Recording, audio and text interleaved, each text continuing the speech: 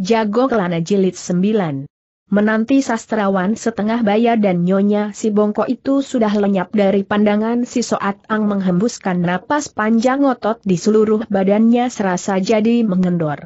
Secara tiba ia merasa tidak kerasan untuk tetap tinggal di sana, menanti kembalinya si bongkok sakti dari luar perbatasan. Namun apa yang harus ia lakukan, sekarang ia sudah tahu kiranya sastrawan setengah baya itu adalah bekas suami nyonya si bongkok, bukan saja bekas suami istri bahkan mereka telah berputra, Tong Pui Pe adalah putra mereka. Entah kemudian sastrawan itu terpikat oleh seorang perempuan yang bernama Kiem Lian Hoa, ia lantas mengusir Guat Hun ibu dan anak, dalam keadaan putus asa Guat Hun hendak bunuh diri dengan terjunkan diri ke dalam sungai, Kebetulan ia ditolong oleh si bongkok sakti sejak itulah mereka lantas mengikat diri jadi suami istri. Kesemuanya ini dapat didengar oleh si Soatang dari pembicaraan si sastrawan setengah bayar dengan nyonya itu. Sekarang ia baru tahu apa sebabnya nyonya itu jauh lebih gelisah daripada si bongkok sakti setelah mengetahui Tong Pui Pek terluka parah, kiranya pemuda itu adalah putra kandungnya. Begitu tega sastrawan setengah baya itu mengusir Guat Hun ibu dan anak dari rumah, dari sini dapat ditarik. Kesimpulan orang itu tentu kejam dan tidak berperasaan, sekarang pun ia berhasil menipu nyonya itu, bahkan dengan cara yang licik dan memalukan, apa sebenarnya maksud tujuan yang terkandung di hati pria itu? Yang paling membuat si Soat Ang bingung adalah kelihayan ilmu silat yang dimiliki sastrawan setengah baya itu, entah siapakah orang itu menurut kata perempuan tadi, seharusnya sastrawan itu si Tong Pui. Mendadak perasaan bergidik menyelimuti seluruh tubuh gadis itu, bulu kuduk pada bangun berdiri, ia merasa ngeri seram dan ketakutan, gigi mulai beradu dan seluruh badan menjadi lemas. Sekarang ia tahu sudah siapakah sebenarnya si sastrawan setengah baya itu. Walaupun selama ini ia berdiam terus di dalam benteng Tianit PO yang jauh di luar perbatasan, namun pengetahuannya sangat luas. Setelah mengetahui kalau orang itu si Tong Pui, teringatlah olehnya akan seorang gembong iblis yang paling ditakuti jago Kangou, orang itu paling keji, paling ganas orang itu si Tong Pui bernama Pacu, dialah pemimpin dari perguruan Tian Bun. Kalau dari aliran lurus, jago paling lihai adalah si Tai Sian Seng, maka dari golongan sesat Tong Pui Paculah yang paling jagoan, ia tak terkalahkan dan belum pernah menjumpai tandingan. Rasa takut makin menyelimuti seluruh benaknya, tiba gadis itu menjerit keras. Kenapa kau masih berada di sini kalau tidak lari, Apakah aku harus menantikan kematianmu di sini sambil menjerit ia putar badan dan melarikan diri terbirit keluar rumah. Hatinya kacau, lelah dan ketakutan, sekuat tenaga ia lari terus ke depan, saking cepatnya ia berlari akhirnya tak bisa ditahan badannya terpeleset dan jatuh terguling ke atas tanah. Buru ia merangkak bangun, coba berdiri untuk melanjutkan larinya, mendadak sesosok bayangan manusia berkelebat datang, tahu di hadapan matanya telah berdiri seseorang. Si Soat Ang merasa jantungnya seakan berhenti berdetak, seluruh tubuhnya jadi kaku, sukmanya terasa terbang dari raganya, ia benar ketakutan, ngeri dan akhirnya terkencing. Pandangan matanya mulai kabur, kepala pusing tujuh keliling, Ingin sekali ia buka suara untuk mohon ampun, namun tak sepatah kata pun bisa diucapkan, ia jadi kaku, seakan sebuah patung batu. Pada saat itulah, orang yang berdiri di hadapannya buka suara menegur. Eh, eh, bukankah kau adalah Nonasi? Nonasi sebenarnya apa yang telah terjadi? Begitu orang itu buka suara, si Soatang tak kuasa menahan diri lagi, ia menjerit sejadinya.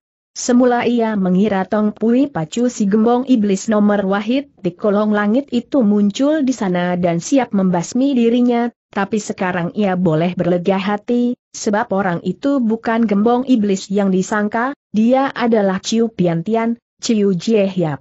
Dengan susah payah ia merangkak dan coba berdiri, namun badannya masih lemas, baru saja kakinya akan berdiri, sekali lagi ia terbanting ke atas tanah.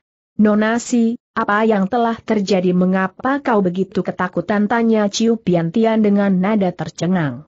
Tadi si Soatang sudah bersiap sedia untuk melarikan diri lagi sekuat tenaga, namun sekarang Ciu Piantiao telah tiba, ia bisa menghembuskan napas lega, setelah istirahat ia merangkak bangun dan duduk mendeprok di atas tanah. Ciu Jiyehyap, aduh celaka, celaka 13 telah terjadi peristiwa di luar dugaan. Suaranya masih gemetar dan penuh diliputi ketakutan, keseraman dan kengerian. Apa yang telah terjadi, seru Ciu Piantiao terperanjat. Namun belum sempat si Soat Ang menjawab sinar matanya telah terbentur dengan dua sosok mayat yang menggeletak di atas tanah dengan cepat ia meloncat ke depan mendekati mayat itu. Tapi air mukanya segera berubah hebat. Ah ah ah, Bukankah mereka adalah sepasang manusia gagah dari Yeu Tiong bagaimana bisa mati di sini? Mendadak suatu ingatan berkelebat dalam benaknya kembali ia berseru, Enso apakah kau merasa terkejut? Nyonya si bongkok telah diculik orang, ujar Soatang lambat sambil bangun berdiri. Ciu Piantian semakin terperanjat sejak menemukan mayat dari sepasang manusia gagah dari Yeu Tiong, ia sudah merasa telah terjadi suatu peristiwa di luar dugaan, kematian mereka berdua pasti menyangkut suatu masalah yang amat besar. Sekarang, setelah mengetahui nyonya si bongkok sakti diculik orang lain, ia sadar suatu badai angin puyuh mulai melanda mereka.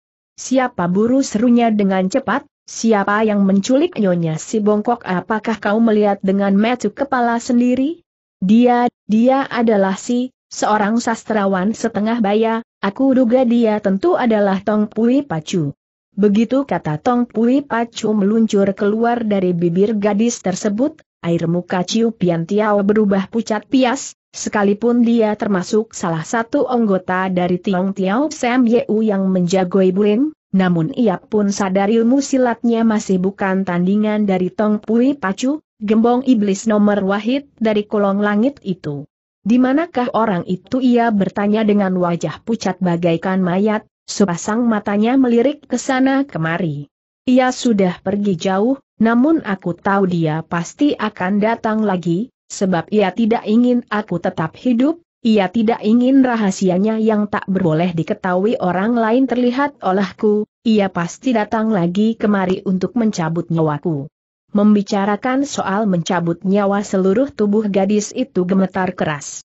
Kalau begitu kau cepat lari titik cepat lari seru Cui Pian Tiao, ia tarik tangan si Soatang dan berkelebat ke depan, dalam sekejap mata kedua orang itu sudah menerobosi hutan bambu.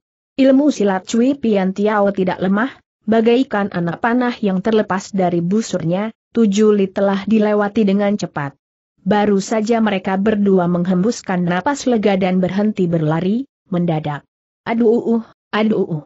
Cui Jie Hiap, sungguh hebat ilmu meringankan tubuhmu, aku benar-benar kagum dari belakang tubuh mereka berkumandang datang suara teguran. Sementara itu tubuh Cui Piao Tian masih berada di tengah udara, mendengar teguran itu badannya dengan cepat bersalto beberapa kali, tangannya menyentak dan ia lempar badan si Soatang ke arah luar kalangan. Tenaga sentakan itu amat besar, tidak tahan badan si Soatang terpental dan melayang jauh ke depan. Sekalipun gerakan Cui Piao Tian dalam usahanya menyelamatkan jiwa si gadis itu dilakukan sangat cepat namun sayang seribu kali sayang ketika tubuh gadis itu melayang di tengah udara, sebuah batu kecil dengan disertai desiran tajam telah meluncur datang.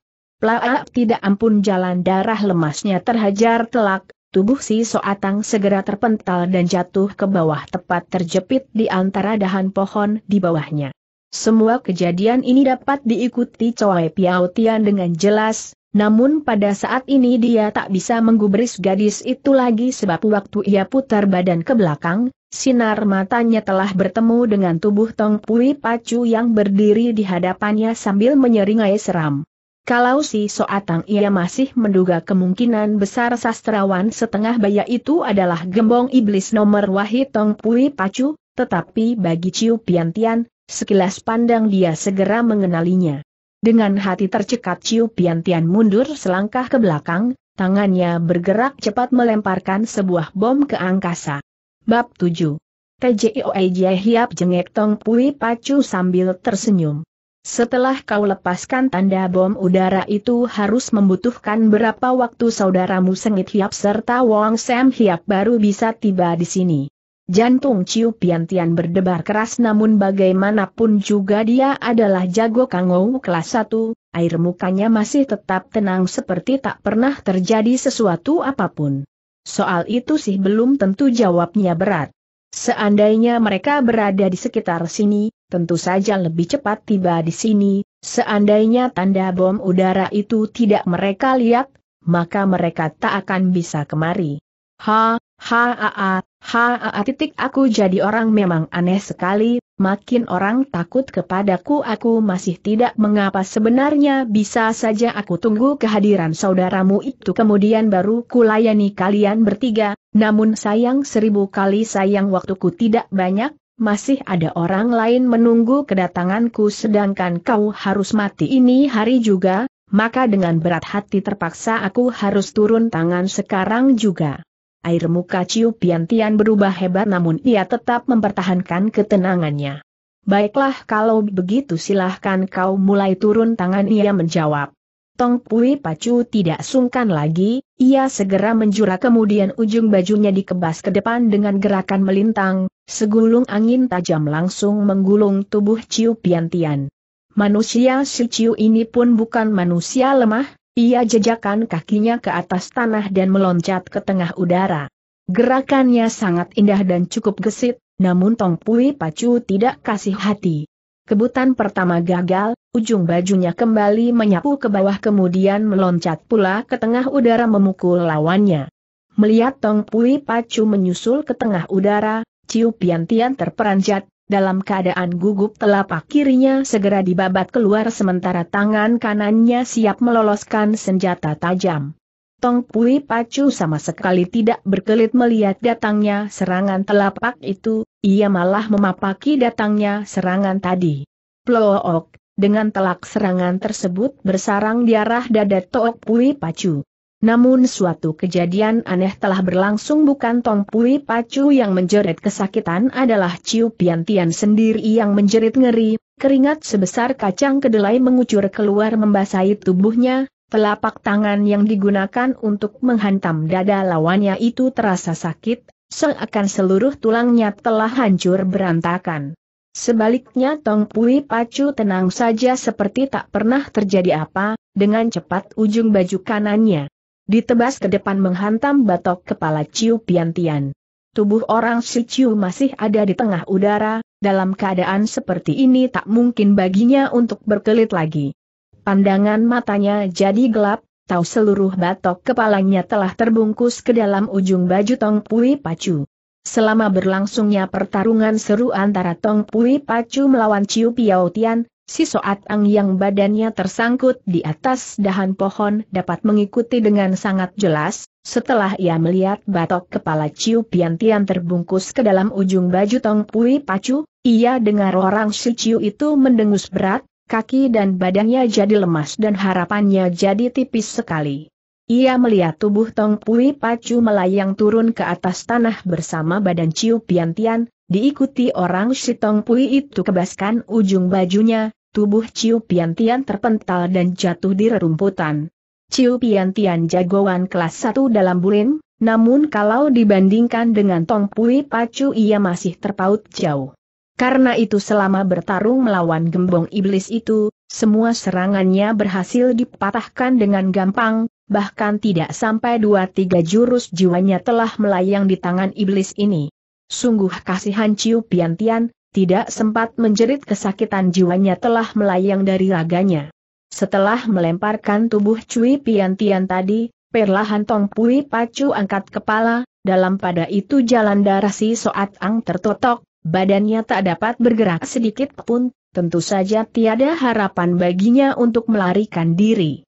Ingin sekali gadis itu mengutarakan pelbagai alasan agar jiwanya diampuni, namun justru tak sepatah kata pun bisa diucapkan. Sambil tertawa terbahak Tong Pui Pacu meloncat ke bawah pohon, telapak tangganya bergerak cepat membabat dahan pohon yang menjepit tubuh gadis itu. Kerak dahan pohon terbabat patah, tubuh si Soatang pun terbanting jatuh ke atas tanah. Walaupun bantingan ini sangat berat namun jalan darahnya yang tertotok tiba jadi bebas.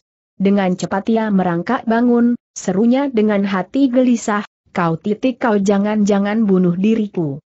Waktu itu Tong Pui Pacu sudah mempersiapkan ujung bajunya untuk dikebas ke bawah, mendengar jeritan ini ia tarik kembali serangannya. Mengapa? Jantung si Soat Ang berdetak makin keras, seakan hendak terlepas dari tubuhnya, dengan napas tersengkal ia berseru. Kalau kau binasakan diriku, seumpama nyonya si bongkok menanyakan diriku, apa yang hendak kau katakan? Tanda tanya. Mengapa ia tanyakan dirimu? Tanya Tong Pui Pacurada tertegun. Saking takutnya hampir si Soat Ang menangis sejadinya, namun ia sadar dalam keadaan seperti ini ia tak boleh menangis.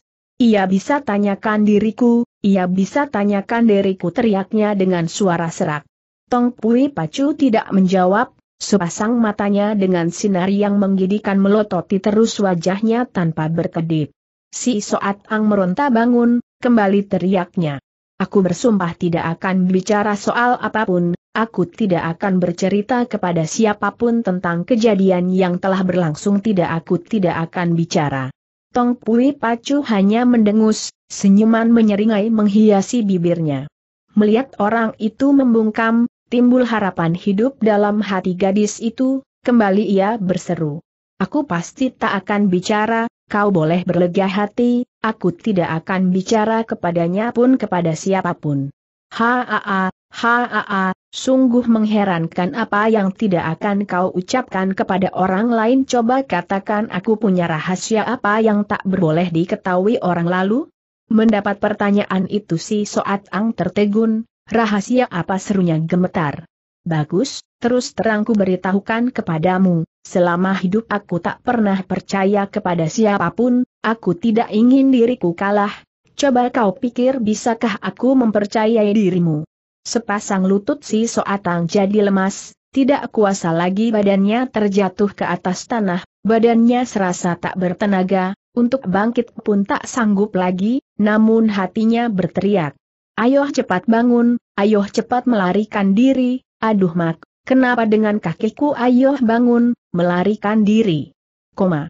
Tetapi badannya tetap mendeprok di atas tanah dengan lemas, bahkan mulai gemetar sepatah kata pun tak bisa diucapkan, bergerak sedikit pun tak sanggup. Menanti Tong Pui pacu untuk kedua kakinya angkat ujung bajunya ke tengah udara, si Soatang baru menjerit keras, entah dari mana datangnya tenaga mendadak ia menggelinding di atas tanah, menggelinding sekuat tenaga menerobosi semak belukar. Tentu saja sekalipun ia menggelinding sampai di dalam semak sekalipun tak akan bisa meloloskan dari kejaran Tong Pui Pacu, akhirnya ia bakal kecandak dan mati di tangan si iblis. Namun pada saat itulah mendadak terdengar gelak tertawa yang sangat aneh berkumandang datang dari tempat kejauhan, gelak tertawa itu bergerak cepat sekali, dalam sekejap telah berada di dekat mereka. Diikuti sesosok bayangan manusia meloncat datang dengan sebatnya. Si Soatang yang berhasil menggelinding ke dalam semak segera tenteramkan hatinya dan menengok ke depan, ia dapat melihat jelas orang yang barusan munculkan dirinya bukan lain adalah musuh bebuyutan yang paling dia benci, dialah si manusia yang punya wajah mirip monyet Hiat Goan Sin Kun adanya. Kemunculan Hiat Goan Sin Kun sungguh berada di luar dugaan Soat Tang, seandainya manusia monyet ini tidak mengejar Louis Sam, dan kebetulan Louis Sam berada di benteng Tianit Po, benteng miliknya akan tetap ramai dan jaya, tentu saja jiwanya tidak akan terancam seperti ini hari.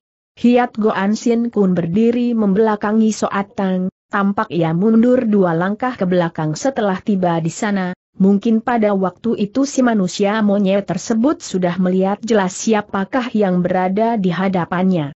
Haruslah diketahui walaupun Hiat Goan Sin Kun termasuk sebagai jago yang amat lihai, namun kedudukannya masih terpaut jauh kalau dibandingkan dengan Tong Pui Pacu. Tidak aneh kalau manusia monyet itu sangat terperanjat setelah diketahui olehnya gembong iblis nomor wahid yang ditakuti semua jago sedang berdiri di hadapannya, setelah mundur dua langkah ke belakang ia tertawa serak tegurnya. Eh eh eh, sungguh aneh sekali, ini hari tanggal berapa sih? Tanda tanya masa begitu banyak jago lihai yang berkumpul di sini mungkinkah di tempat ini akan diselenggarakan suatu pertemuan puncak para jago bulim. Apa maksud Sin Kun berkata begini jengek Tong Pui Pacu sambil mengangkat bahu, apakah kau pun merasa dirimu terhitung seorang jago lihai? Seandainya perkataan ini diucapkan orang lain mungkin si manusia monyet ini sudah mencak kegusaran, namun lain halnya kalau perkataan ini meluncur keluar dari bibir Tong Pui Pacu walaupun dalam hati sangat mendongkol, ia tak berani banyak berkutik. Haa, haa, haa, tentu saja aku bukan jago lihai sahutnya diiringi tertawa paksa maksudku di sini masih ada jago lihai lainnya. Haa, haa, kecuali aku seorang, benarkah di kolong langit masih ada jago yang lebih lihai daripada diriku? Sungguh sombong orang ini, namun tak bisa disalahkan kalau kita tinjau dari kedahsyatan ilmu silat yang dimilikinya. Hiat Goan Sin Kun tarik napas panjang, dengan sangat hati ia menjawab. Mungkin, sebab aku lihat si Tai Sian Seng dari Gunung Godbiye pun berada di sekitar sini. Mendengar nama orang itu, air muka Tong Pui Pacu berubah hebat. Namun perubahan itu hanya berlangsung dalam sekejap mata diikuti air mukanya kembali seperti sedia kala. Oh, oh, titik jadi si Tai Sian Seng pun berada di sekitar ini jengeknya dengan alis berkerut. Ucapan ini diutarakan disertai tenaga W.E. Kang yang dahsyat suaranya nyaring dan lantang sukar dilukiskan dengan kata, entah sampai berapa jauh suara itu berkumandang namun jelas dan diketahui oleh siapa pun, perkataan itu jelas sengaja ditujukan kepada si Tai Sian. Seandainya si Tai Sian ada di sekitar sana ia tentu akan mendengar suaranya. Sedikit pun tidak salah, belum lama suaranya sirap dari tempat kejauhan berkumandang datang suara yang tidak kalah lantangnya. Tong Pui Sian bagaimana keadaanmu sejak perpisahan? Suara itu nyaring namun amat rendah, sewaktu menembusi lubang telinga terasa nyaman dan enak. Pada mulanya suara itu bergema dari tempat yang sangat jauh, tapi dalam sekejap mata suara berada dekat sekali. Diikuti terdengar ujung baju tersampuk angin, dari balik hutan muncul sesosok bayangan manusia yang tinggi besar. Perayawakan orang itu boleh dikata seimbang dengan Tong Pui Pacu, sama tinggi besar dan penuh berotot, hanya usianya telah mencapai 60 tahunan, ia memakai baju warna abu dengan di tangannya mencekal sebuah tongkat terbuat dari pualam putih. Di atas wajahnya sudah penuh berkeriput namun masih memancarkan cahaya yang tajam, setibanya di kalangan ia segera menjura ke arah Tong Pui Pacu. Si Tai Sian Seng, apakah bocah itu masih berada di tanganmu tegur Tong Pui Pacu segera setelah balas memberi hormat. Si Tai Sian Seng tidak menjawab, ia menghela napas panjang dan berpaling ke arah Hiat Goan Sin Kun. Walaupun Hiat Goan Sin Kum pun mendengar dari pembicaraan kedua orang tokoh bulim itu seakan terselimut tabir rahasia, namun ia tak tahu apa maksudnya, menanti si Tai Sian Seng berpaling ke arahnya, manusia monyet ini baru sadar tentunya kedua orang tokoh silat ini tidak ingin dia ikut serta mendengarkan pembicaraan itu. Karenanya buru ia berseru. Aku datang kemari untuk mencari si bongkok sakti yang berangasan maaf tak bisa menemani lebih jauh selamat tinggal. Sembari berkata selangkah demi selangkah dan mundur ke belakang, baru mundur beberapa langkah ia sudah berada di tengah semak di mana si Soat Ang menyembunyikan diri. Melihat manusia monyet itu mundur ke arahnya, buru gadis itu merangkak ke samping dengan maksud menghindar. Namun sayang tindakannya terlambat. Satu langkah, Hiat Goan Sin Kun telah menemukan adanya manusia di tengah semak, dengan cepat ia berpaling sewaktu dilihatnya orang itu adalah si Soat Tang, ia rada tertegun kemudian tertawa aneh. Ah ah ah, kiranya kau sambil berkata tangannya bergerak cepat mencengkeram bahu gadis itu dan diangkatnya dari dalam semak. Air muka si Soatang pucat pasti bagaikan mayat, giginya saling beradu dengan kerasnya, ia sangat ketakutan. Ah ah ah, sungguh sempit jalan di dalam dunia ini, di mana pun kita selalu berjumpa jengek manusia monyet itu sambil mendengus sinis, ada seorang sahabat karibmu ingin berjumpa denganmu. Siapakah titik kedua orang itu? Belum sempat Kiat Goan Sin Kun menjawab mendadak si Tai Sian Seng menegur, Kiat Goan Heng, harap suka melepaskan nona cilik itu. Si manusia monyet tertegun, kemudian dengan cepat serunya. Tapi si Tai Sian Seng, kau tidak tahu perempuan ini, dia titik. Hiat Goan Heng kembali si Tai Sian Seng menukas dengan sepasang alis berkerut. Kau adalah seorang tokoh bulim yang sudah kenamaan, mengapa sikapmu begitu kasar terhadap seorang nona cilik ayo cepat lepaskan. Air muka Hiat Goan Sin Kuo berubah beberapa kali, Akhirnya lepas tangan juga meskipun demikian dengan gemas ia melotot sekejap ke arah si Soatang ayo jalan, kan harus ikuti diriku pergi dari sini teriaknya. Aku, kenapa harus pergi mengikuti dirimu tanya gadis itu dengan napas terengah. Setelah dibebaskan oleh si Tai Sian Seng dari kesulitan, nyali perempuan ini semakin berani, bahkan terhadap si manusia monyet pun ia berani membangkang. Kontan saja si manusia monyet Hiat Goan Sin Kun mencak kegusaran sambil tertawa dingin teriaknya. Engkau Misan Mulim Hao Seng berada tidak jauh dari sini, apakah kau tak ingin berjumpa dengan dirinya bukankah kau ingin bertemu dengan bekas kekasihmu itu? Nyali si soatang besar, ia ingin membantah namun mendengar nama Lim Hao Seng seluruh tubuhnya gemetar.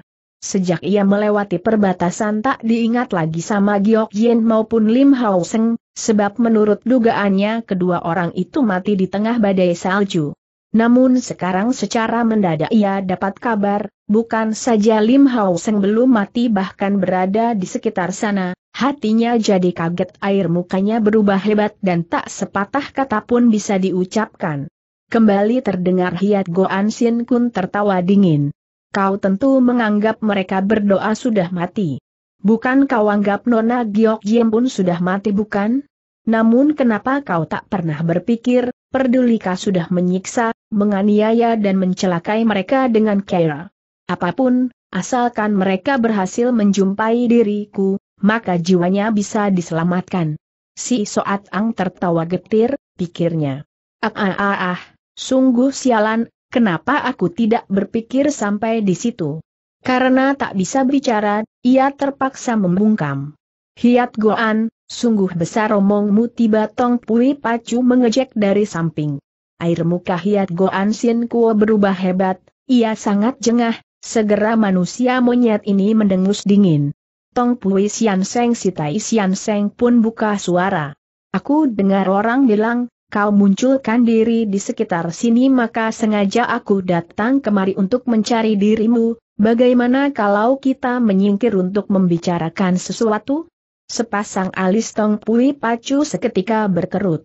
Kiranya si Tai Sian Seng datang kemari untuk mencari aku, apakah dikarenakan bocah itu? Belum habis ia berbicara, si Tai Sian Seng telah berbatuk, Tentu saja maksudnya jelas sekali ia minta agar manusia si Tong Pui itu tidak meneruskan katanya.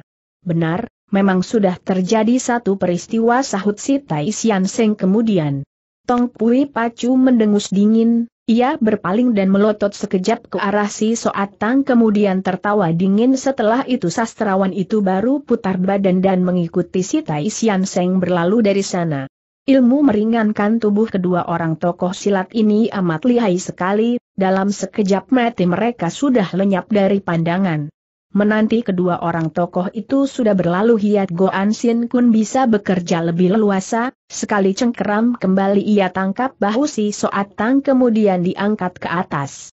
Sesaat Tong Pui Pacu meninggalkan tempat itu, ia melototi sekejap ke arahnya, Si Soatang segera mengerti iblis itu sudah memberi peringatan kepadanya agar jangan bicara, kalau tidak niscaya jiwanya akan dicabut. Namun, kendati Tong Pui Pacu telah berlalu, kembali ia ditangkap oleh Hiat Goan Sin Kun, posisinya sangat tidak menguntungkan sekali.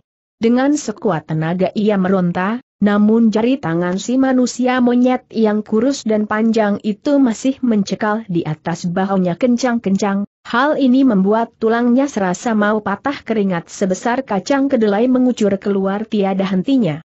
Kau suka ikut aku tidak hardiknya keras. Si Soat Ang terperanjat, sebelum ia sempat menjawab, mendadak terdengar desiran angin tajam berkumandang datang, di dalam hutan itu kembali muncul dua sosok bayangan manusia. Di tengah rasa terkejut si Soat Ang berpaling sekejap ke arah mereka berdua, ia temukan salah satu di antaranya adalah seorang kakek kurus kering sedang yang lain adalah lelaki tinggi kekar. Jieko tiba terdengar lelaki kekar itu meraung keras. Sambil berteriak lelaki itu memandang ke arah jenazah Cui Piantian dengan mati mendolong, setelah itu ia meloncat ke depan langsung menubruk ke arah Hiat Goan Sio Kun si manusia monyet.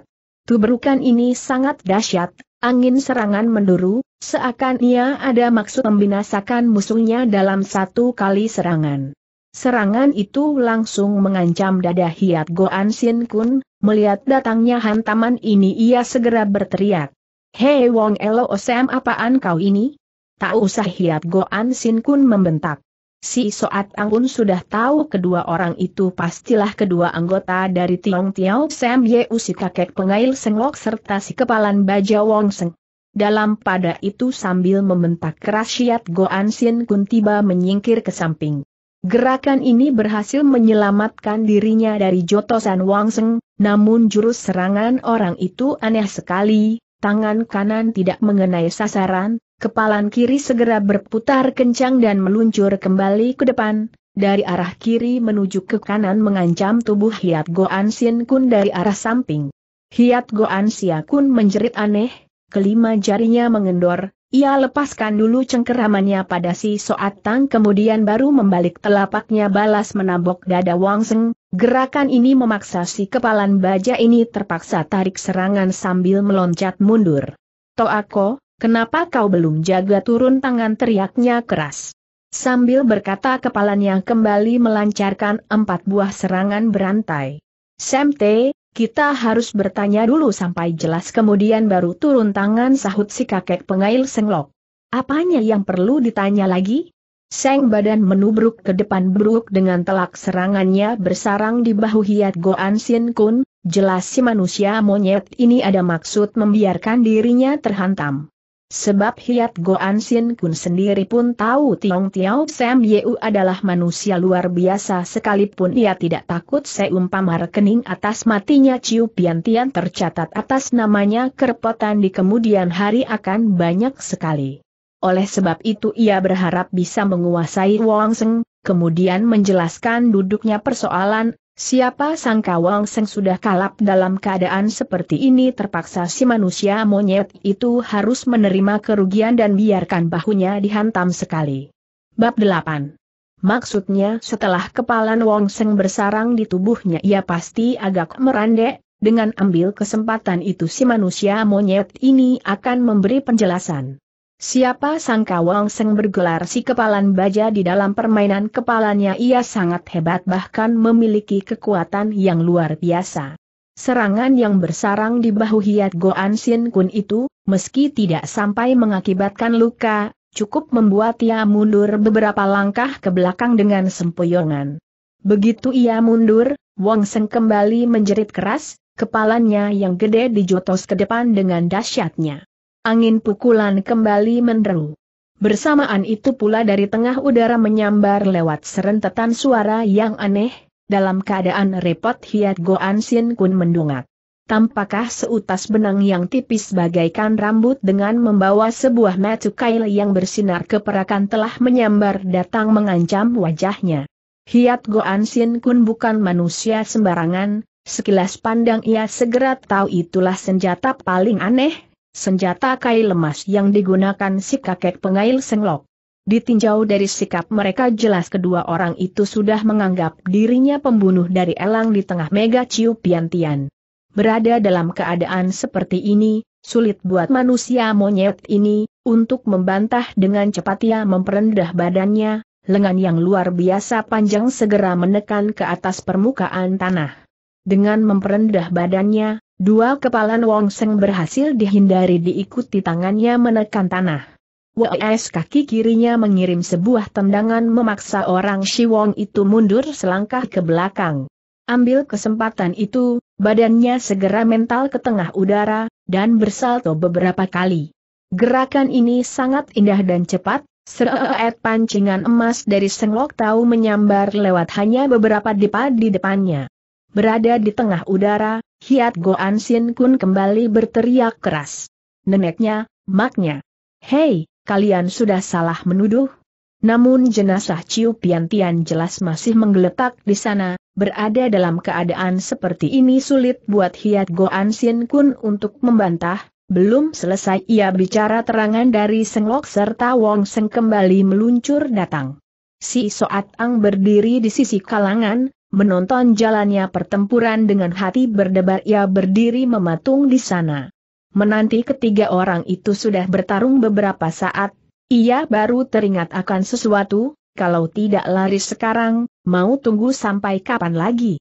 Buru ia putar badan dan menerobos ke dalam semak, tidak peduli bajunya terkait duri, ia menerobos dan menerobos terus sehingga jauh dari kalangan pertarungan, keadaannya saat itu mengenaskan sekali.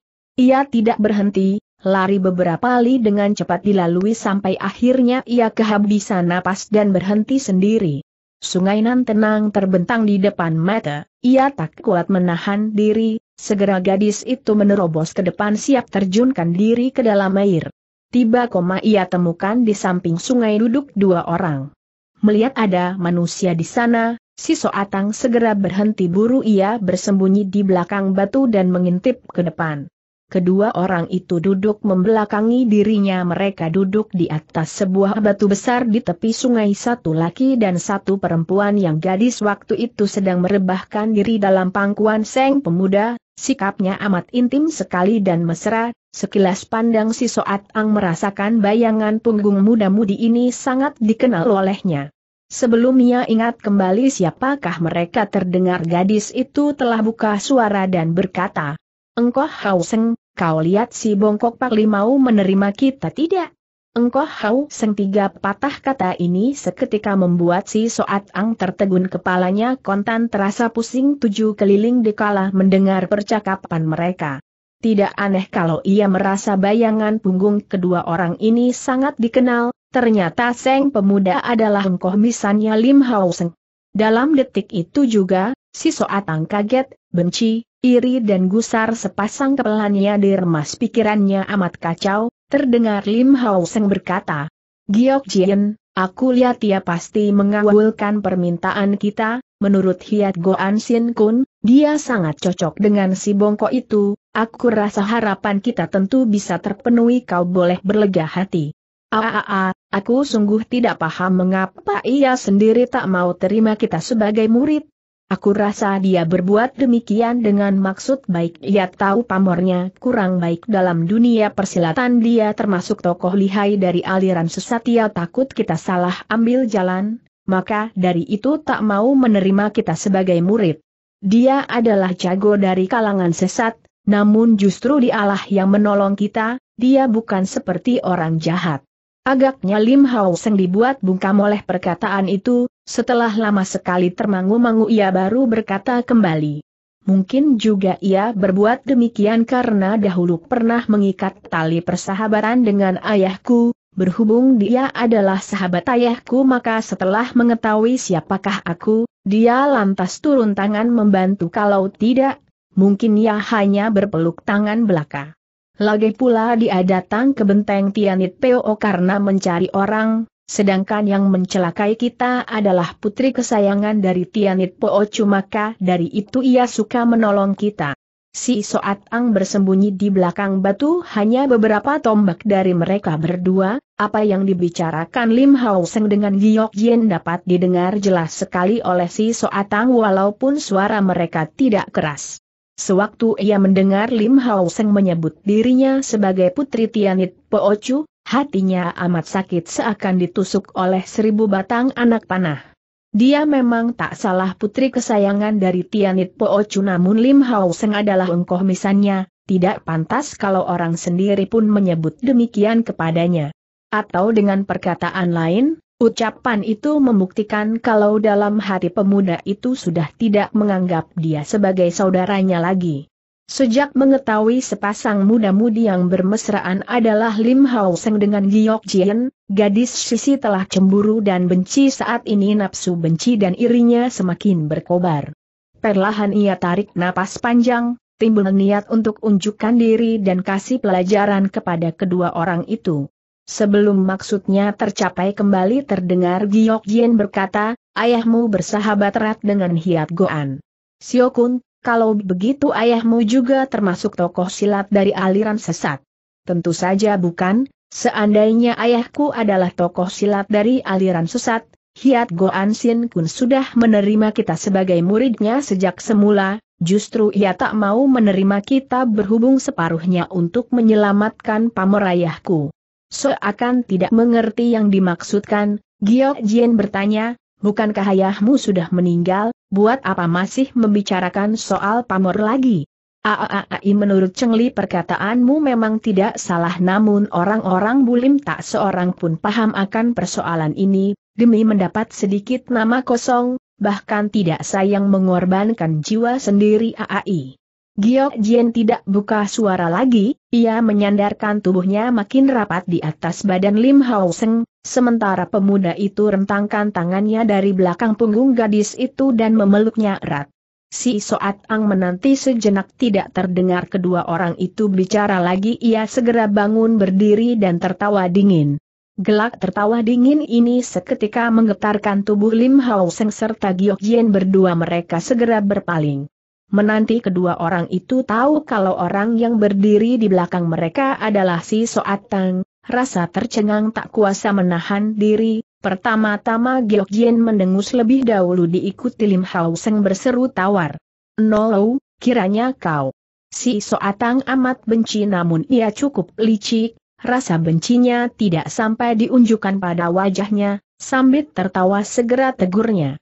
Hei engkau Hauseng, sungguh tak disangka kembali kita bertemu di sini. Jilid 9 halaman 39-40 hilang. Si Soatang segera menunjukkan wajah penuh senyum manis. Ah ah ah ah, aku hanya ingin berbicara sebentar dengan Giok Jien, katanya halus aku ingin beritahu asal-usulnya kepada Giok Jien, kenapa sih kau ngambek macam itu? Begitu ucapan tersebut diutarakan kontan jantung Giok Jien dak dikduk. Sio Chia, asal usulku, kau, apakah kau tahu serunya? Giok Jien, jangan dengarkan omongannya, buru. Lim Hao Seng berseru. Si Soatang segera tertawa dingin, mendadak ia angkat jarinya menuding ke langit dan angkat sumpah, seandainya aku si Soatang tidak tahu asal-usul Giok Jien yang sebenarnya, atau saat ini aku sedang bicara ngaco belo, Tian akan mengutuk aku dan membinasakan diriku dengan sambaran geledek. Secara tiba si Soat Ang angkat sumpah yang begitu berat, Kontan Lim Hao serta Giok Jien berdiri tertegun. Menuding ke langit angkat sumpah, hal ini bukan suatu permainan biasa, sekalipun Lim Hao Seng sadar di balik ucapan Liu pasti tersembunyi siasat lain, kali ini dibikin kebingungan juga. Giok Jien semakin percaya lagi dibuatnya, namun gadis ini tidak berani maju ke depan, sambil memandang ke arah Lim Hao Seng serunya. Engkau Hao Seng. Dengan cepat Lim Hao Seng rentangkan tangannya menghalangi gadis itu maju ke depan, serunya. Kalau kau tahu asal-usul dari Giok Jien. Nah cepat katakan. Tahu atau tidak itu urusanku, dan mau bicara atau tidak terserah kepadaku, kalau kau tidak biarkan Giok Jen datang kemari aku pun tidak akan bicara kata si Soatang sambil tertawa. Kurang ajar, jangan harap kau bisa mencelakai Giok Jen teriak Lim Hao senggusar. Si Soatang tidak menggubris, perlahan ia putar badan dan berkata, Giok Jien lebih baik kau ambil keputusan sendiri asal usulmu sangat luar biasa dan tak mungkin bisa kau dapatkan dengan akal sehatmu. Seandainya sekarang tak mau tahu, ya sudahlah, selama hidup jangan harap aku suka beritahu kepadamu. Sio Chia tunggu sebentar, aku titik aku datang kau. Namun pemuda Silim ini tak sanggup meneruskan katanya, sebab pada waktu itu Giok Jien sedang memandang ke arahnya penuh permohonan, titik air mata membasahi wajahnya tambah mengenaskan hatinya yang halus.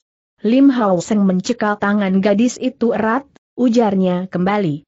Giok Jien kau tak boleh ke sana, sekalipun kau ingin mengetahui asal-usulmu, kenapa harus gelisah akhirnya kau bakal tahu sendiri. Giok Jien benar seorang gadis yang penurut mendengar ucapan ini ia menghela napas. Aai, baiklah aku menuruti perkataanmu, melihat siasatnya gagal si Soat Ang teramat gusar, kontan ia tertawa dingin. Giok Jien kau anggap aku masih ada maksud untuk mencelakai dirimu, kalau kau memang sudah begitu baik terhadap Hau Seng baiklah selalu kepadanya, HMM kiranya kau sudah anggap aku seperti barang sampah? HMM peduli apa pun yang hendak kau ucapkan, aku tidak akan perkenankan Giok Jien mendekati dirimu. Baik, bagus, kiranya kau pun sudah anggap aku seperti kala jengking, seperti ular berbisa. Teriak si Soat Ang marah, air mukanya berubah hijau membesi, haa titik haa titik sungguh sayang Giok Jien tak tahu siapa ayah dan ibunya, kalian harus tahu, kedua orang tuanya sangat membantu dirinya. Aku tak percaya kau punya liang sim yang begitu baik setelah mendengar perkataan itu, sadarlah si Soat Tang, kendati ia banyak bicara pun percuma, sebab Lim Hao Seng sudah amat jelas memahami watak maupun akal liciknya, ia lantas putar otak cari akal lain tiba ia mendengus. HMMM baiklah, kalau kalian tak mau percaya, sudahlah selama tinggal tanpa banyak bicara lagi ia putar badan dari kedua orang itu. Sio Chia, tunggu melihat si Soatang berlalu, dengan hati cemas Giok Jen berseru. Si Soatang terus berkelebat ke depan, kurang lebih sudah lewat beberapa tombak jauhnya ia baru berhenti dari berpaling.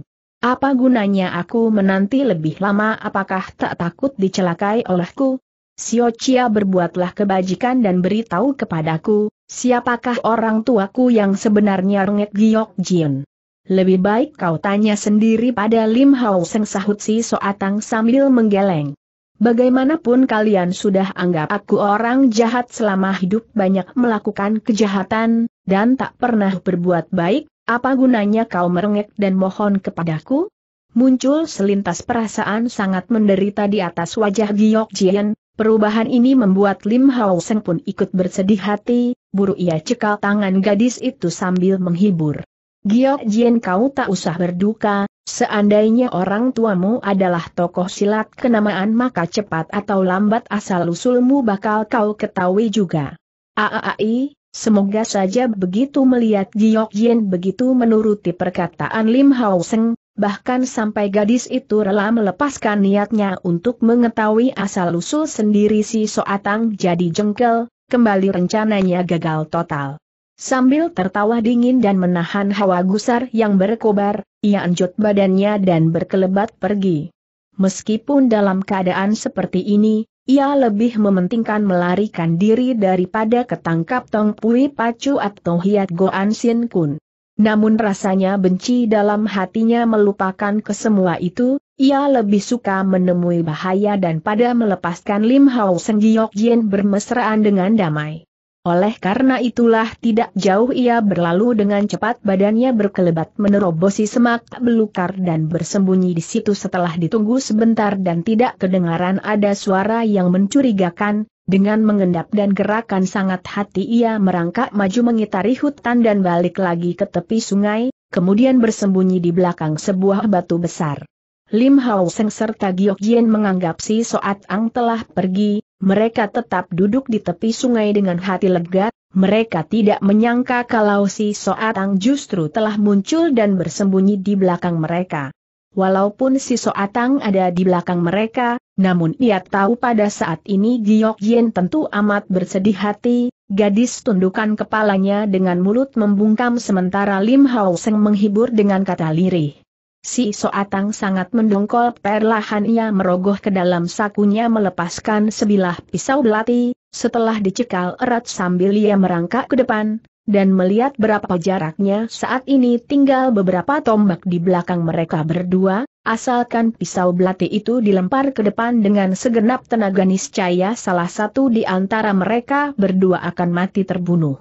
Tentu saja kalau dia ingin serangannya mengenai sasaran, ia harus mengincar Giok Jien, sang gadis yang ilmu silatnya rada rendah. Kedua, saat ini pun gadis itu lagi melamun, dalam keadaan tidak bersiap siaga lebih mudah dibokong. Setelah mengambil keputusan si Soat Ang gigit bibir, ia cekal pisau belati itu kencang kemudian ayun tangannya ke atas. Ia hendak menggunakan segenap tenaga yang dimilikinya untuk melemparkan pisau belati ini, maka ia ayun tangannya sampai di belakang punggung. Tetapi, baru saja tangannya siap diayun ke depan tiba pergelangan tangannya serasa jadi kencang sekali, seakan dijepit oleh jepitan besi dari arah belakang, tangannya yang siap melemparkan pisau belati itu tak dapat berkutik. Si Soatang amat terperanjat, tak tertahan lagi ia menjerit keras. Teriakan ini mengagetkan Lim Hao Seng serta Giok Jien yang sedang dibuat oleh lamunan, mereka segera berpaling. Dalam pada itu bukan saja pergelangan tangan si Soatang kena ditangkap orang, bahkan saat ini seluruh badannya diangkat ke tengah udara. Kelima jari tangannya tak kuat mencekal pisau belati itu lagi. Terang tak kuasa senjata tajam itu terjatuh ke atas tanah. Ingin sekali si Soat Ang berpaling untuk melihat siapakah yang mencekal dirinya, namun lehernya telah ditangkap pula, dalam keadaan seperti ini tak sanggup bagi gadis itu untuk putar kepala. Namun, sekalipun tak usah berpaling ia pun tahu siapakah manusia yang menangkap dirinya saat ini, sebab Lin Hao Seng serta Giok Yen yang berpaling sedang berseru hampir berbareng. Ah ah ah ah. Hiat Goan Ciampoe. Seluruh tubuh Soat Ang bergidik, untuk sesaat ia tak tahu apa yang harus diucapkan ia mengerti nasibnya bakal jelek, sebab untuk kesekian kakinya perbuatan kejinya terbongkar oleh si manusia monyet itu. Mendadak, dari tempat kejauhan berkumandang datang suara aneh. Suara aneh itu seakan muncul dari dalam sungai, suara itu begitu aneh seakan teriakan manusia, namun mirip pula suara binatang buas, mirip pula seperti jeritan ngeri atau nyanyian merdu, pokoknya sangat aneh sehingga mendatangkan rasa seram ngeri di hati semua orang. Dengan cepat suara aneh itu bergema makin dekat, diikuti permukaan air sungai bergolak keras, semprotan air setinggi beberapa tombak menciptakan suatu pandangan yang aneh. Dalam sekejap mata muncullah seseorang dari dalam sungai itu, gerakannya amat cepat sambil berlari orang itu memperdengarkan jeritan aneh, sepasang tangannya menghantam permukaan sungai keras, untuk sesaat sulit baginya setiap orang untuk mengenali siapakah sebenarnya manusia yang ada di dalam sungai itu. Terhadap munculnya manusia aneh ini semua orang berdiri tertegun, tak seorang pun buka suara, semuanya memandang ke arah sungai dengan mata, terbelalak serta mulut melongot, semua orang dibikin berdiri menjublek. Akhirnya Hiat Goan Siu Kun tak dapat menahan diri lagi ia segera menghardik keras. Heh, siapa kau? Bentakan ini segera mendatangkan reaksi, orang itu berhenti bergerak dan air pun tidak kelihatan lagi mencelat keempat penjuru, diikuti muncullah seorang perempuan dengan rambut awutan, seluruh badan basah kuyuk, wajahnya kurus bagaikan mayat, bermata melotot dan mulut menyeringai sehingga kelihatan sebaris giginya yang putih.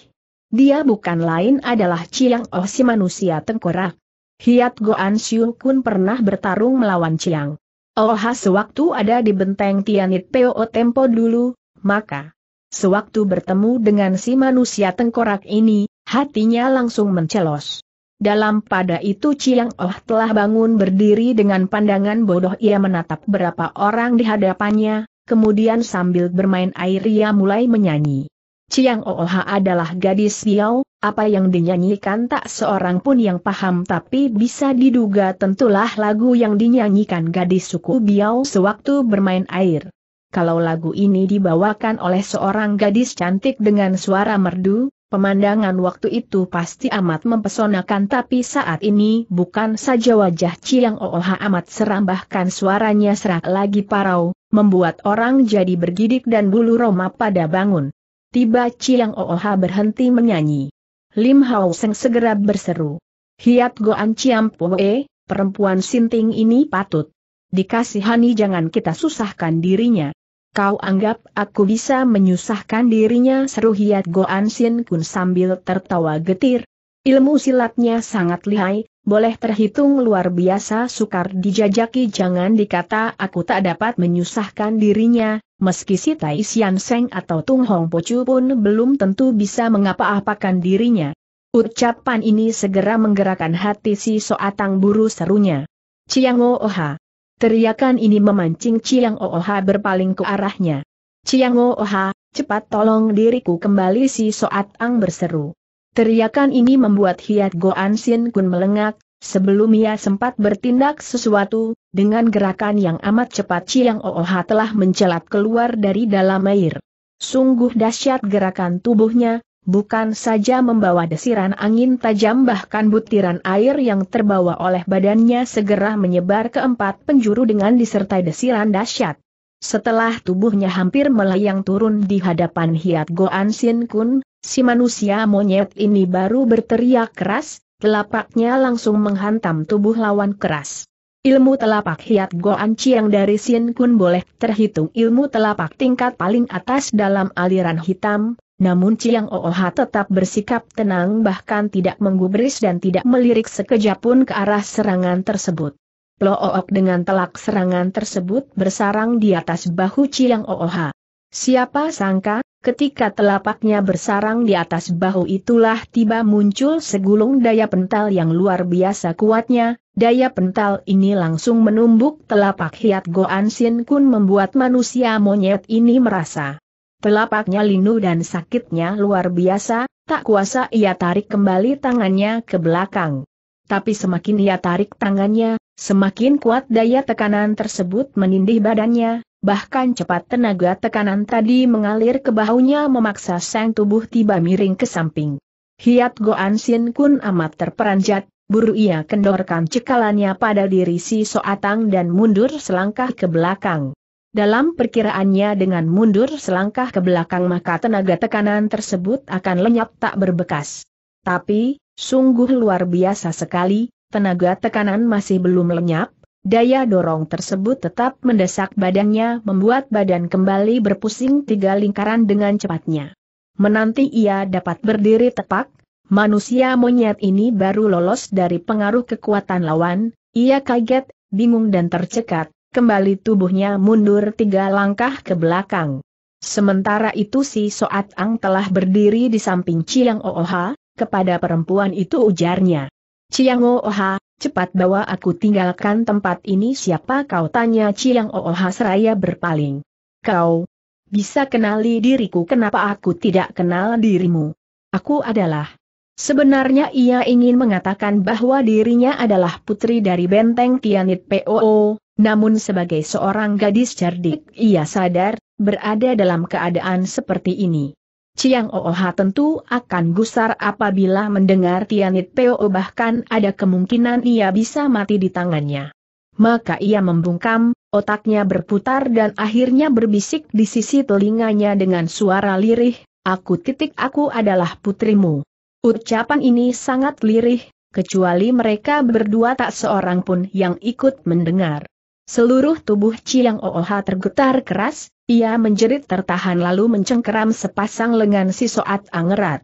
Gadis sisi tak menyangka Chiang Ooha bisa mencekal lengannya begitu keras, jari tangan yang kuat bagaikan baja dengan kekuatan yang dahsyat hampir membuat lengan gadis itu tercekal putus, saking sakitnya ia menjerit keras, hampir saja Soatang jatuh tidak sadarkan diri. Benarkah teriak Ciang Ooha dengan sinar mata bercahaya meski bicara lengannya masih mencengkeram lengan gadis itu erat. B, benar, cepat kau lepas tangan, teriak si Soatang dengan napas terengah. Ciang Ooha lepas tangan, tapi sebelum gadis itu mundur lengannya kembali bergerak memeluk tubuh gadis itu erat, dari mulutnya bergumam suara yang aneh, entah apa yang diucapkan. Si Soatang yang dirangkul, hampir susah bernapas, ia mencium bau busuk dari tubuh perempuan itu, begitu busuk, begitu memualkan sampai gadis itu kelenger dan hampir jatuh semaput. Untung pada saat itu Ciang Ooha lepas tangan sambil bertanya tiada hentinya. Sungguhkah benarkah titik AAH sungguhkah benarkah? Tanda tanya. Masih banyak yang ia ucapkan, hanya si Soat Ang Titak. Paham sebab ia berbicara dengan menggunakan bahasa suku Biau. Tentu saja sungguh jawab si Soat Ang tegas. Coba kau pikir yang lain boleh bohong, masa soal ini pun aku ingin membohongi dirimu. Chiang Oha menjerit histeris, sepasang tangannya mencekal bahu si Soatang dan mengguncangkan badan gadis itu keras, setelah itu menjerit kembali dan akhirnya memeluk Putri Tianit Poocu ini ke dalam rangkulannya. Si Soatang benar kepingin muntah, tapi ia berusaha keras untuk mempertahankan diri sebab ia tahu kesemuanya ini mempengaruhi atas keselamatan jiwanya. Lama-kelamaan Chiang Ooha berhasil tenangkan diri, ia mendongak dan menatap Hiat Goan Sin Kun dengan sinar mata permusuhan. Hiat Goan Sin Kun tak tahu apa yang diucapkan oleh si Soat Tang kepada Chiang Ooha. Tapi menyaksikan sinar mata yang penuh mengandung permusuhan itu, ia sadar keadaan tidak menguntungkan dirinya, ia mundur selangkah ke belakang dan siap menghadapi segala kemungkinan. Lama sekali Chiang Ooha melototi wajah Hiat Goan Sin Kun, mendadak ia mendengus dan serunya sambil menarik tangan Soatang. Mari kita pergi dari sini. Tidak menanti jawaban dari gadis itu, ia tarik Soatang berlalu dari sana, gerakan mereka berdua sangat cepat. Dalam sekejap mata bayangan mereka itu sudah lenyap dari pandangan. Menyaksikan Chiang Ooha berlalu dengan membawa Soatang, si manusia monyet ini teramat gusar, tapi ia tahu keadaan seperti ini jauh lebih baik daripada harus bergebrak melawan perempuan tengkorak itu, lama sekali ia tertegun untuk kemudian lambat putar badan. Sin Kun, apakah kau telah berjumpa dengan si bongkok sakti buru Lim Hao Seng bertanya.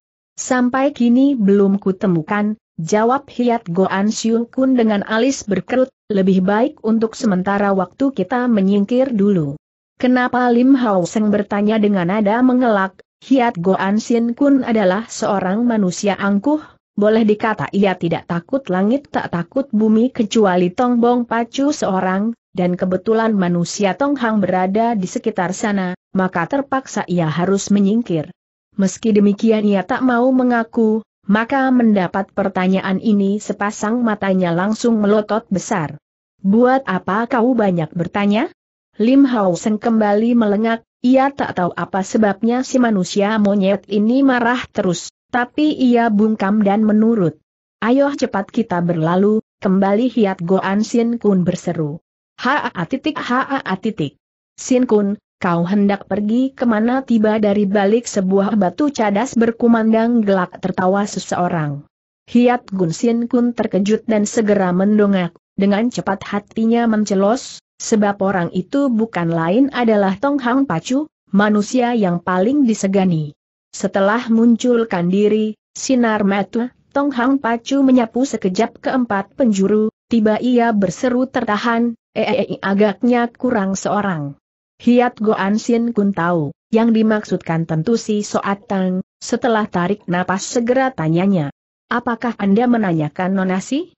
Tong Hang Pacu tersenyum, kembali ia menatap wajah Lim Hao Seng serta Giok Jien, terasa sepasang muda-mudi ini berbakat bagus dan amat mempersonakan, sebaliknya kedua orang itu merasa ada seremtetan listrik bertegangan tinggi menyambar lewat di atas wajah mereka, baik Lim Hao Seng maupun Giok Jien sama dibikin terperanjat. Siapakah orang ini pikir mereka tanpa terasa. Dalam pada itu Tong Hang Pacu telah mengangguk. Tidak salah, dialah yang kumaksudkan. Ah ah ah sayang kedatangan Anda terlambat setindak, ia sudah dibawa pergi oleh seseorang. Ha ha ha, ha ha ha, Sin Kun kalau mau berbohong janganlah di hadapanku, siapa yang berani serobot orang dari tanganmu? Hiat Goan Sin Kun tertawa getir, ia tak tahu apa hubungan gadis sisi itu dengan Tong Hang Pacu, tapi ia sadar kalau tidak memberi keterangan jelas, maka ia bakal dibikin repot. Buru-buru sahutnya. Nona si dibawa lari oleh seorang perempuan sinting dari benteng Tianit Po yang pada hari biasa dipanggil Chiang Ooha, ilmu silat yang dimiliki perempuan sinting ini sangat lihai, kalau Anda tak percaya silahkan ditanyakan pada mereka berdua. Tong Hang Pacu berpaling untuk kedua kakinya ia menatap Hau Seng serta Giok Jien tajam membuat sepasang muda-mudi ini jadi bergidik. Oh, oh, koma kiranya dalam dunia Kangou sudah muncul seorang tokoh lihai lagi seru Tong Hang Pacu sambil tersenyum wah ah kalau begitu pengalamanku sungguh cetek sekali. Eh eh eh eh titik. Sin Kun aku dengar putri kesayanganmu telah ternoda, benarkah kabar berita ini dan nona ini?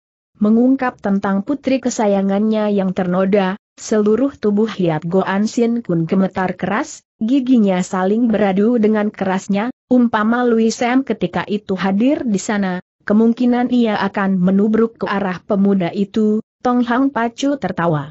Padahal, putrimu pun terhitung salah, pikirnya terlalu cepat, ujarnya. Sudahlah, jangan kita bicarakan persoalan ini aku ada urusan hendak mencari si bongkok. Hei tahukah kasih bongkok telah pergi ke mana? Aku pun sedang mencari dirinya sahut Hiat Goan Sin Kun, perlahan ia mulai tenang kembali aku ada maksud membawa kedua orang masuk ke dalam perguruannya tapi sampai kini aku masih belum tahu ia sudah pergi ke mana. Menurut apa yang ku ketahui mungkin ia sudah keluar perbatasan untuk mencari Soat San Semmo, aku ingin sedikit merepotkan dirimu pergi untuk mencari dirinya. Katakan aku menanti kedatangannya di gubuk tempat kediamannya, ada urusan penting hendak ku bicarakan dengan dirinya, kalau kau sudah bertemu dengan dirinya maka datanglah bersama dia. Tentang soal ini tentang soal ini titik. Tanda petik. Kenapa tegur Tong Hong Pacu dengan air muka berubah? Sebenarnya persoalan Anda sudah sepantasnya ku kerjakan tapi pada saat ini kedua orang muda ini masih membutuhkan perawatanku. Ah, ini bukan persoalan berat setelah aku berangkat serahkan saja mereka berdua padaku. Hiat Goan Sin Kun tertawa getir, ia segera berpaling ke arah Lim Hao Seng serta Giok Jien dan ujarnya. Saudara ini adalah Tong Hong Pacu, kalian cepat datang menghunjuk hormat kepadanya. Giok Jien si gadis muda tidak begitu kenal dengan situasi Blin, nama Tong Hong Pacu tidak begitu mempengaruhi dirinya, Berbeda dengan Lim Hao Seng, seluruh tubuhnya kontan gemetar keras. Ia bukan seorang penakut tapi saat ini air mukanya berubah pucat pias bagaikan mayat tak sepatah kata pun sanggup diutarakan. Sementara itu Tong Hang Pacu telah membentak kembali. Hei Sin Kun kau masih belum berangkat titik kalau sampai urusanku kacau, awas akan ku suruh kau pertanggungjawabkan persoalan ini. Setelah diancam, Tentu saja Hia Goan Sin Kun tak berani beraya lagi, buru serunya. Kalian berdua dengarkanlah perkataan Tong Hang Sian Seng, setelah bertemu dengan si bongkok sakti aku pasti kembali. Sembari bicara ia putar badan dan melesat pergi dari situ. Menanti si manusia monyet sudah berlalu, Tong Hang Pacu baru berjalan menghampiri Lim Hao Seng berdua ujarnya sambil geleng kepala. Kalian anak murid siapa dengan kepandaian silat seperti itu, buat apa berkeliaran dalam dunia persilatan apakah kalian ingin antar nyawa dengan percuma? Ayahku adalah Tian Caid Kiai dari Gunung Tiang Peksan yang bernama Lim Teng, ujar Lim Hao Seng setelah berhasil tenangkan hatinya, Nona ini adalah Nona Giok Jian, belum pernah belajar ilmu silat. Ayah Lim Hao Seng bukan manusia sembarangan dalam dunia persilatan meski sudah mati dipaksa musuhnya terjun ke jurang, tapi Tong Hong Pacu tak mungkin tak pernah mendengar nama ini. Namun orang si Tong Hong cuma mengiyakan hambar, lalu menatap Giok Jien dan berseru. Oh oh oh iya belum pernah belajar ilmu silat aku rasa belajar mulai sekarang pun masih belum ketinggalan, belum pernah kutemui manusia dengan bakat demikian bagusnya. Tanda seru. Sambil berkata sepasang matanya dengan tajam menatap gadis itu tak berkedip, Giok Jien jadi jengah, jantungnya terasa berdebar keras dan akhirnya tunduk kepala rendah, sepatah kata pun tak bicara. Siapa namamu kembali Tong Hang Pacu bertanya Giok Jien. Apa Shimu? Giok Jien tertawa getir, aku adalah seorang anak yatim piatu, Sejak kecil dibesarkan dalam benteng Tianit Peo kecuali si Xiao siapa pun tak tahu asalku, tapi ia tak mau beritahu kepadaku. Tentang soal ini kau boleh berlega hati, aku pasti dapat membantu dirimu untuk mengetahui asal-usul sebenarnya. Ucapan ini sangat mengharukan hati Giok Jian, buru ia menjura. Ah ah ah ah, ku ucapkan terima kasih dahulu atas bantuan Ciam Poe. Tong Hang Pacu tertawa terbahak. Kau tak usah berterima kasih kepadaku, aku bernama Tong Hang Pacu, ilmu silatku termasuk lumayan juga, dengan bakatmu yang bagus bagaimana kalau kuangkat dirimu sebagai muridku? Tanda tanya.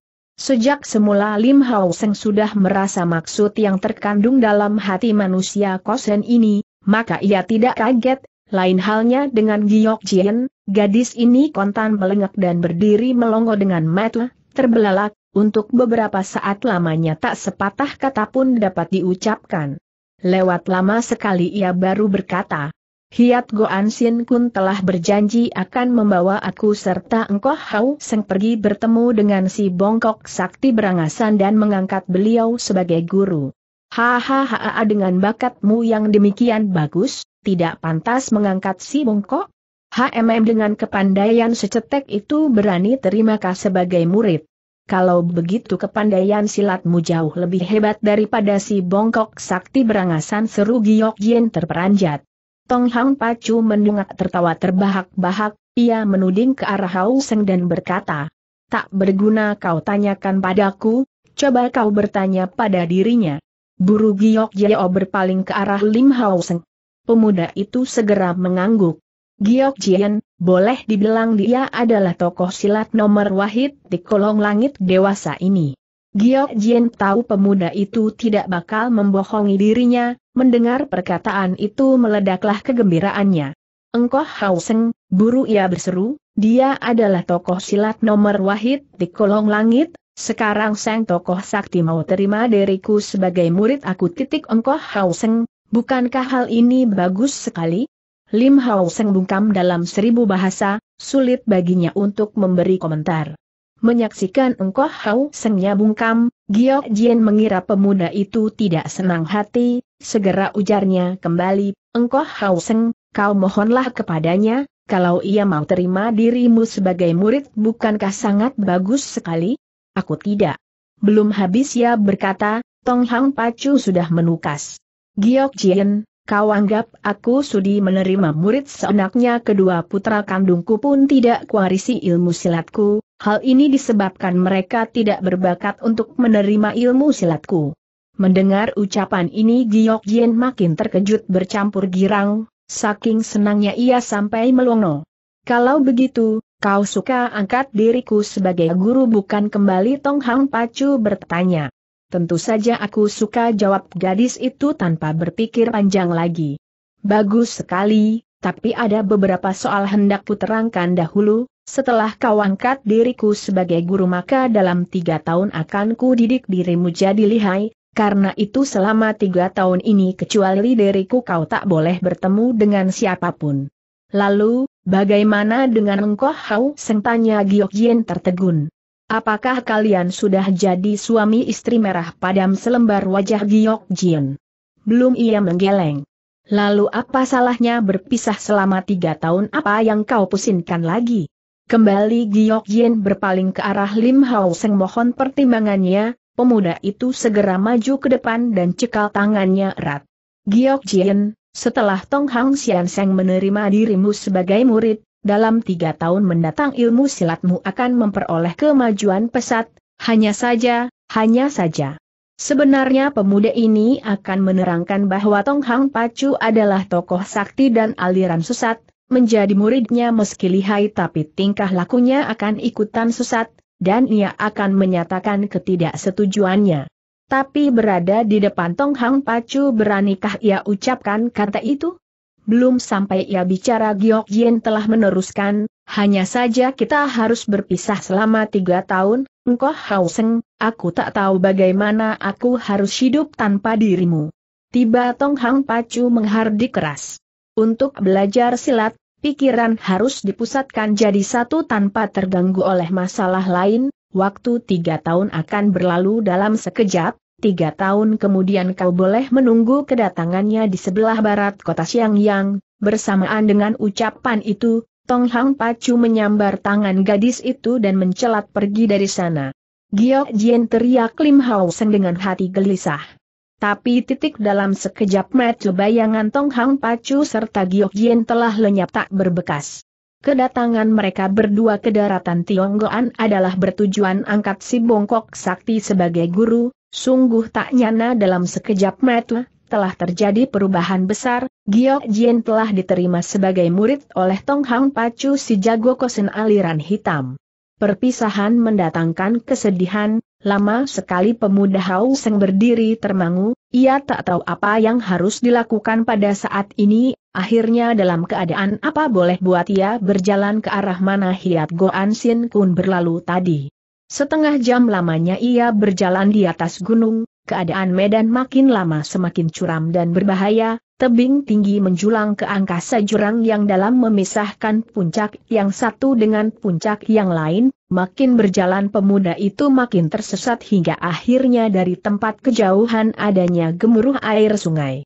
Mendengar ada suara air, semangat Hauseng berkobar kembali, segera ia berlari menghampiri sungai itu dengan maksud beristirahat, tapi ia tertegun.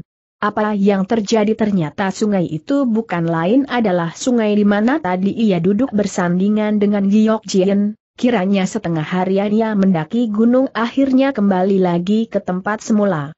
Pemuda itu tertawa getir ia berjalan mendekati batu besar di mana tadi ia duduk berduaan, atau mendadak dijumpainya seseorang berdiri di samping batu tersebut. Orang itu berdiri tak bergerak di sana, bajunya abu dan berusia 60 tahunan, perawakannya tinggi dengan wajah agung, namun ketika itu sepasang alisnya berkerut kencang, seakan ada satu masalah besar sedang memusingkan benaknya. Lama sekali orang itu memandang aliran air dalam sungai, akhirnya ia menghela napas panjang dan berpaling ke arah Lim Hao Seng. Kemarilah kau bocah ia berkata. Nadanya sangat datar, membuat orang sulit untuk menebak perasaannya ketika itu. Ciam Pue kau ada urusan apa pemuda itu segera maju menjura. Memandang aliran air dalam sungai lama sekali kakek itu membungkam lalu menghela napas panjang dan bertanya. Dapatkah kau melakukan suatu pekerjaan buat diriku? Dalam keadaan kesal, Sebetulnya Lim Hao Seng tidak ingin mencari kerepotan tapi setelah dilihatnya kakek tua itu makin dipandang makin berwibawa ia lantas menduga orang ini tentu seorang tokoh silat lihai. Baiklah sahutnya setelah tertegun sejenak, entah Ciam Pue ada perintah apa. Dapatkah kau bantu aku pergi satu kali ke lembah Cui Hang Kok di Gunung Go Die? Jantung Hau Seng berdebar keras siapa yang tak kenal dengan lembah Cui Hang Kok di Gunung Go Bie asalkan seorang ahli silat pasti akan kenal dengan lembah tersebut. Lembah Cui Hang Kok adalah tempat tinggal si Tai Sian Seng, tokoh silat paling lihai di kolong langit dewasa ini atau dengan perkataan lain si kakek tua yang berada di hadapannya bukan lain adalah si Tai Sian Seng sendiri. Ah ah ah ah kiranya Ciam Pue adalah si Tai Sian Seng saking girangnya tak kuasa ia berteriak. Si Tai Sian Seng tertawa kering. Kau berangkatlah ke lembah Cui Hang Kok dan beritahu seisi lembah, sebelum kutemukan murid durhaka tersebut tak akan kembali ke rumah, dan sebelum aku kembali apabila Tong Hang Pacu datang, suruh mereka layani sebaiknya, jangan sampai bergebrak, suruh mereka ingat, ingat selalu. Pesan Ciam Pue pasti akan aku sampaikan tapi Bo Ampue belum pernah datang ke Gunung Gaudie, aku takut orang di sana tidak percaya kepadaku. Tieng dari balik sakunya si Taisian sengambil keluar sebuah cincin emas kecil, sambil menyerahkan benda itu ia berkata, dengan membawa cincin ini mereka pasti akan menerima dirimu. Dia mempercayai ucapanmu, kau harus berhati, gelang emas itu jangan sampai hilang.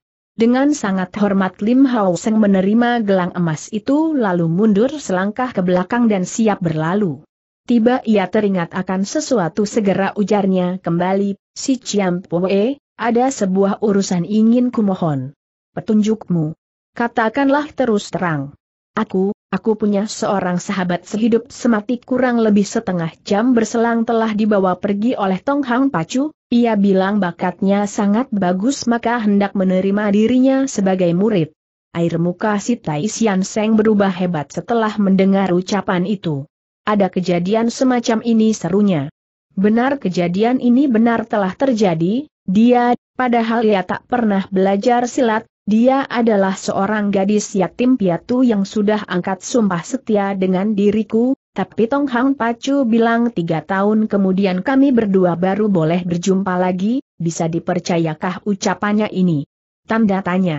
Dengan wajah serius si Tai Sian Seng mendengarkan semua penuturan pemuda itu, dari sikap tersebut Lim Hao Seng dapat menarik kesimpulan bahwa urusan amat berbahaya dan serius. Menanti pemuda itu menyelesaikan katanya, si Tai Sian Seng baru berkata, Sepanjang hidup Tong Hang Pacu selain pegang teguh ucapannya, ia bilang satu tetap satu berkata dua tetap dua, setelah ia berjanji untuk pertemukan kembali kalian berdua. Tiga tahun kemudian, aku rasa ia tak akan membohongi dirimu, tapi aku takut sampai waktunya. Berbicara sampai di situ, mendadak ia berhenti bicara. Sampai waktunya kenapa tanya Lim Hao Seng? Penuh kecemasan. Si Tai Sian Seng tidak menjawab pertanyaan itu, ia cuma menghela napas panjang. Bagaimana keadaannya setelah tiga tahun kemudian, bagaimana aku bisa menerkanya aku kan bukan seorang malaikat setelah berada di Gunung Gobie apabila kau berniat tinggal di lembah Cui Hokok beberapa waktu, silahkan. Nah, sekarang kau boleh berangkat.